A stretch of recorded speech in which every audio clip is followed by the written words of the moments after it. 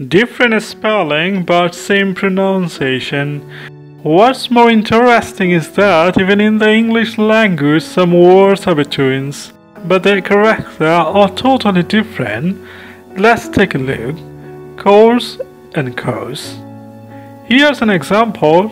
Coarse, it means rude or offensive manner or space. For an example, he had a coarse manners but a fast rare mind. Another word is here, and this course pronunciation is totally similar. It means a set of classes or plane of study on a particular subject. For an example, they are going away on a training course next week.